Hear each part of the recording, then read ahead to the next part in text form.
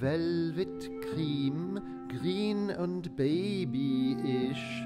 Small leaves seem each stream, horses' tails that swish, and the chimes remind us of sweet birds singing like the jangling bells on rose trees ringing. Man must say farewells to parents now and to William Tell and Mrs.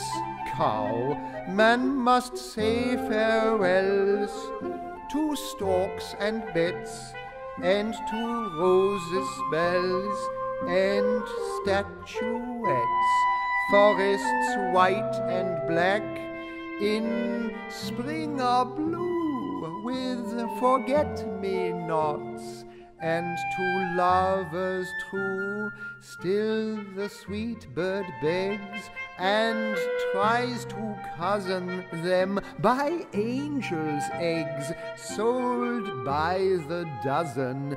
Gone are clouds like inns on the garden's brinks and the mountain djinns Ganymede sells drinks while the days seem grey and his heart of ice grey as chamois.